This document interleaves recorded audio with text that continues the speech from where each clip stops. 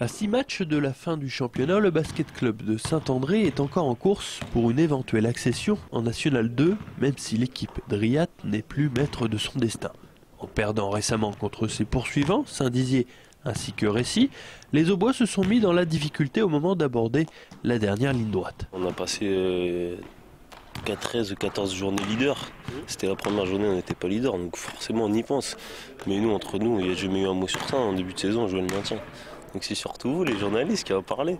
Euh, après, euh, oui, dans le club, ils en parlent. Forcément, ça se prépare une montée, on ne monte pas comme ça. L'an dernier, les partenaires de Karim Benabidi avaient déjà connu une situation similaire en perdant le dernier match à la Charité-sur-Loire, qui était finalement monté à leur place.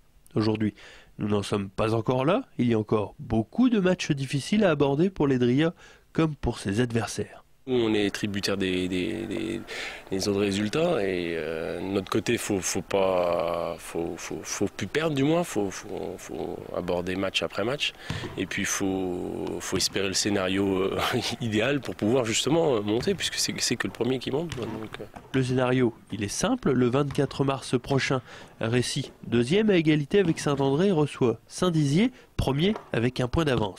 Si Récy Bassin dizier les Dria seront automatiquement premiers grâce à leur goal avérage favorable. Ils seraient donc en position de monter, même si avant tout cela, il leur faut euh, ne faire aucune erreur et remporter leurs six derniers matchs.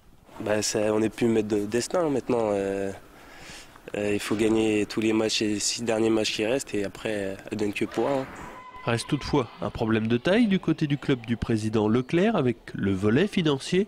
Le club au bois est en grande difficulté sur le plan économique. Le BCSA présente en effet beaucoup d'incertitudes pour aborder une saison en National 2 mais aussi pour finir l'exercice 2012.